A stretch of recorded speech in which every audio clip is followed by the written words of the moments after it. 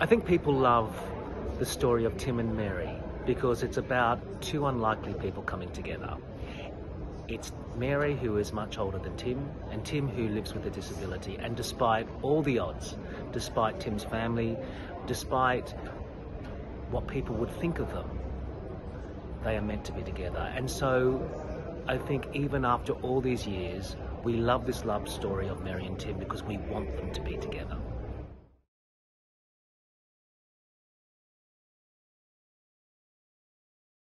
Be honest with you, I wanted the chance to work with Tim McGarry. I'm a huge fan of his.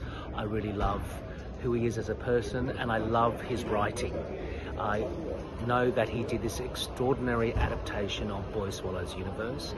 Uh, I know that he is such a great collaborator. He's such a good wordsmith and he is so good at the Australian vernacular and I just wanted the chance to uh, work with this beautiful human being. I also have been a big fan of Colleen McCullough in my life. I know my mum loved the Thorn Birds and of course Tim and so generationally Colleen McCullough's been around in my life for so long I just wanted the chance to direct one of her stories.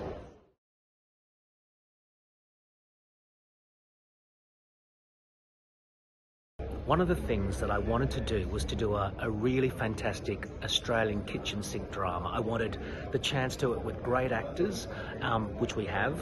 I wanted to have these meaty, emotional scenes that Tim McGarry has written.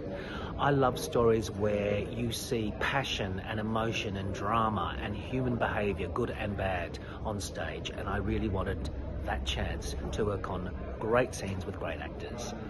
I'm sure audiences also will relate to the love story of Tim and Mary.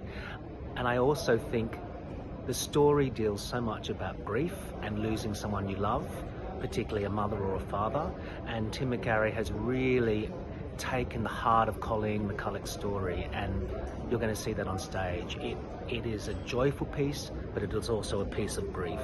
The other things directorially that I wanted to do was really highlight the idea of the seasons passing, partly because Tim is a gardener, but the idea that from summer to winter to spring, we get a chance to experience how life works, the cycle of life from birth, living, love to death. And that's very much part of what I wanted to bring to the stage directorially.